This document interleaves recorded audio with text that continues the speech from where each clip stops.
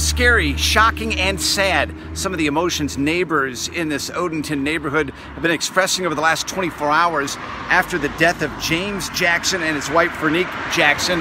The 55 year old and his 47 year old wife were found dead inside their home here on Brigadier Boulevard in Odenton, not too far from Fort Meade. This all happened, they were found in the home at 7 o'clock Sunday morning. Now, police don't know if they were shot and killed Saturday night or Sunday morning. That's being investigated right now. But as this investigation continues, police do tell us that they believe it was a targeted incident, not a random act of violence. But shock and disbelief is what neighbors are expressing here in this neighborhood. Talked to one neighbor who had lived here for more than 15 years and said he knew the couple quite well.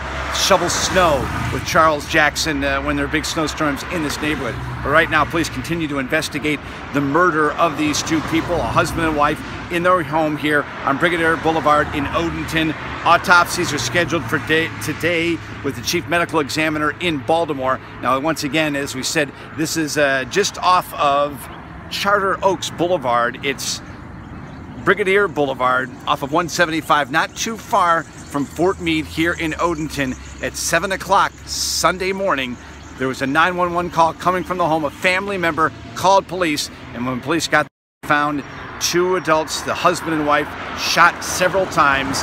55 year old Charles Jackson and his wife, 47 year old Veronique Jackson. Homicide detectives worked through the night collecting evidence, and throughout the morning here on Monday morning, I've seen police officers coming and going from this neighborhood here in Odenton.